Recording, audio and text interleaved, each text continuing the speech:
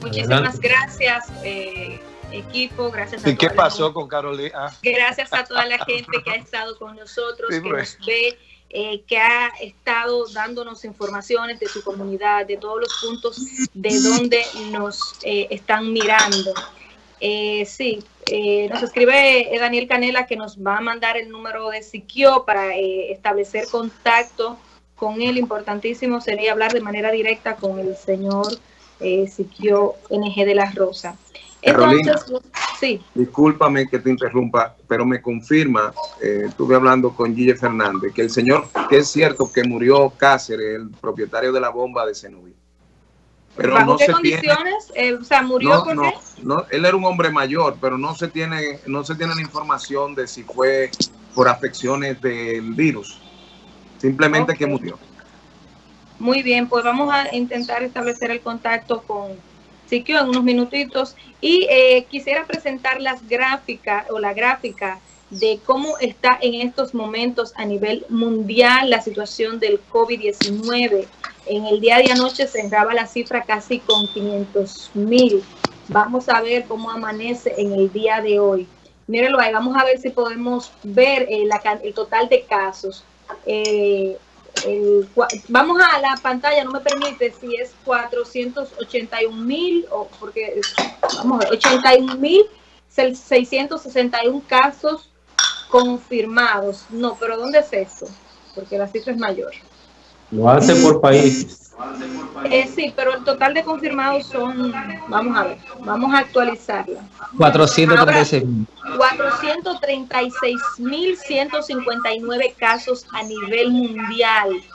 Eh, de esto tenemos un total de muerte de 19.648 personas, un total de recuperados de 111.847 personas que han, eh, se han recuperado de del contagio del coronavirus. Queremos mostrar estas cifras para que la gente entienda que esto es una realidad que tenemos a nivel mundial. En el caso de la República Dominicana, hoy se supone que a las 10 de la mañana tenemos declaraciones del ministro de Salud donde se actualizarán los casos de la República Dominicana, eh, teniendo en cuenta y resaltando todo lo que ha venido aconteciendo en el mundo y en nuestro país, la preocupación que ha causado esta pandemia y que mucha gente de alguna forma ha dejado de lado y no le ha dado el nivel de importancia, de cuidado que debemos de tener ante la posible, posible contagio, tanto nuestro como el de la familia, cuando llegamos al hogar, cuando vamos a los supermercados, como la dama, la señora que nos llamaba, muy preocupada porque entiende que la gente está como sin nada. Hay mucha gente que entiende que esto no le va a afectar, que no se va a contagiar, que eso va a pasar, que el dominicano o que el pueblo, nuestro país está bendecido y todo lo demás.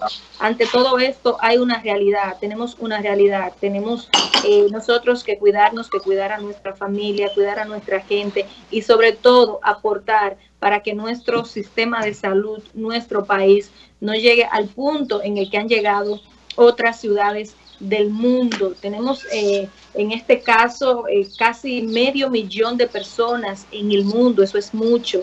Y si hablamos del tiempo, eh, esto, este brote sale en diciembre, sale a la luz pública, cuando empiezan a salir las informaciones desde China del contagio o del virus del COVID-19. Estamos hablando de que estamos en el mes 3, eh, en el mes 3 estamos en marzo y hablar que en tres meses tenemos casi medio millón de contagios. Imagínense lo que podría pasar si nosotros no aplicamos las políticas y las medidas necesarias para evitar que nos contagiemos. Los ciudadanos deben de tener un nivel y una responsabilidad enorme. Yo pienso que cada uno de nosotros somos en este momento una mina o una bomba que podemos estallar. Lo planteo así porque si nos ponemos y nos fijamos, somos un grupo de personas, cada uno tiene una posibilidad altísima de contagiar a otro y así sucesivamente. Hemos visto eh, muchas orientaciones de cómo es la propagación de esto, el cuidado de las manos, el estornudo, el no estar en tumultos de gente. Es increíble, Dios mío, cómo ver una cantidad de ciudadanos irresponsables en nuestro país, alrededor de casi 8 mil personas siendo apresadas porque eh, una cantidad de personas siendo apresadas porque no quieren cumplir con un simple llamado. Estamos hablando de unas horitas de 8 de la noche a 6 de la mañana y que usted busque desafiar a las autoridades cuando nos están cuidando, están cuidando a su familia, están cuidando el sistema de salud de nuestro país, donde entendemos que no tenemos la capacidad para dar soporte a la cantidad de personas que se podrían infectar, de infectar eh, y de contagiar. ¿Cómo es posible? O sea, ¿cómo es posible que nosotros desacatemos medidas tan elementales como esta? Por Dios, no es un relajo, no es cualquier cosa. Y eh, tenemos un Estado deficiente, tenemos políticas públicas como la repartición de las comidas, donde hemos visto una cantidad de ciudadanos eh, con un nivel de, de molestia altísimo porque entiende que el gobierno no ha hecho lo que ha debido de hacer para garantizar la alimentación de esos ciudadanos que necesariamente han debido de ir a sus casas para eh, evitar contagiarse y contagiar a su familia. Y nos preguntamos, bien, eh, el gobierno los manda a las casas y le dice, deben de hacer cuarentena, es cierto, debemos de hacer cuarentenas para cuidarlos, pero ok, ¿qué vamos a hacer con la comida?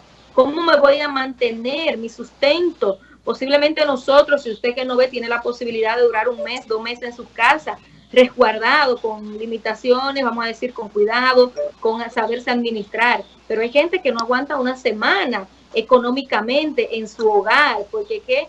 va a darle de alimentación a sus hijos, a su familia.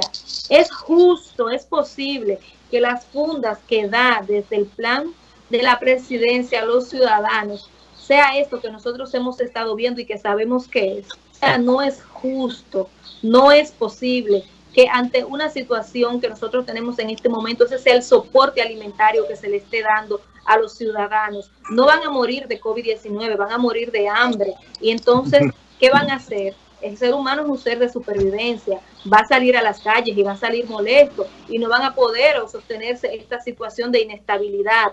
Cuando un grupo de gente que trabaja en las calles diga voy para la calle, no habrá eh, forma de, la fuerza o de la policía que pueda contenerlos. Y esto es muy delicado.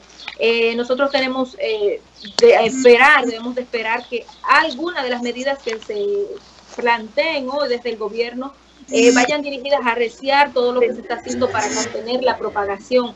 Pero si bien es cierto que esto es vital, fundamental en este momento, también necesitamos políticas eh, que vayan en apoyo, pero un apoyo real, en un sostén real a cada familia dominicana que lo necesita a cada familia que necesita tener esa garantía alimentaria de salud. Estamos teniendo serias denuncias de gente que no está teniendo acceso eh, que nos, tenemos una llamada de Siquio. Bien, mi amor bello. Eh, Fulvio. Te estás escuchando, Fulvio. Ah, ok. okay. Eh, eh, tenemos, eh, tenemos denuncias muy serias, tenemos denuncias muy serias de ciudadanos que no pueden prácticamente tener acceso a hacerse el análisis. Hacemos llamadas en el aire, vemos la gente en condiciones de salud muy serias que no pueden hacérselo, gente que ha estado vinculada, vinculada a quienes han dado positivo con el virus y no tienen la posibilidad o hay eh, un alargamiento eh, muy, eh, vamos a decir, muy marcado de ese acceso que se debería de tener. Si yo estoy con un grupo, una persona que ha dado positivo, o hay 10 gente de una persona que dio positivo, lo más lógico y correcto sería que inmediatamente esas personas eh, se les dé la facilidad, que el mismo Ministerio de Salud intervenga para decirles, no, ustedes deben de ser personas que deben de ser eh, evaluadas para ver si son eh, un ente de contagio o de propagación.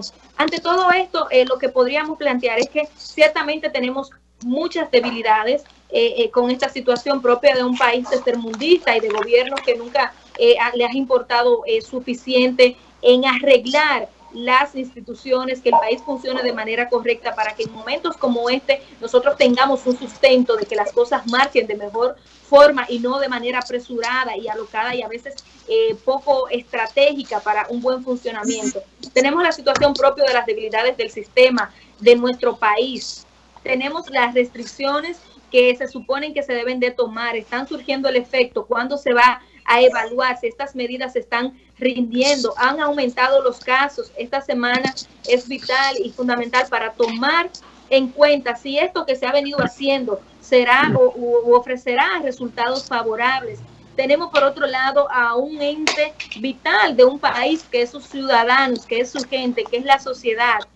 ¿Qué estamos nosotros haciendo los ciudadanos? Ese es el mejor comportamiento el que debemos de adoptar cuando tenemos eh, una situación de que debemos movilizar pacientes sanos para darle eh, prioridad o por un asunto de eh, logística de demográfico, es más conveniente llevarlos o dejarlos a un lugar y esos ciudadanos de otra zona te arman huelgas, te salen a las calles disparados, ellos mismos posiblemente contagiándose, a, haciendo tumultos porque no permiten la entrada de otros ciudadanos. O sea, un sinnúmero de cosas que nosotros planteamos y que sabemos y que conocemos que te dicen, bueno, eh, ¿qué es lo, positivo de todo lo que está pasando ante tantas cosas, eh, vamos a decir, eh, terribles que tenemos, es la realidad que tenemos en este momento.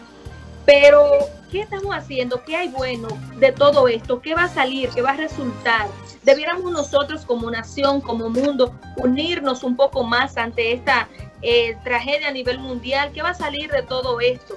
Tendremos ciudadanos más conscientes, tendremos eh, gobernantes de los países que ven lo débil que somos ante situaciones como estas, eh, se identificarán por tener o hacer mejores políticas desde el punto de vista gubernamental. Son muchas las preguntas y cuestionantes que nosotros podríamos hacernos ahora de lo que va a surgir, de cómo ha sido todo este proceso, eh, cómo saldremos airosos y nosotros esperamos que sí imaginar eh, dos meses más en esta situación de contagio, de propagación, de cuarentena, eh, como ha debido de hacerlo, eh, tanto China que mire los resultados, la, la ciudad donde inició todo el brote ya estará siendo abierta, vamos a decir, tendrá su apertura, me parece que para el 3 de abril.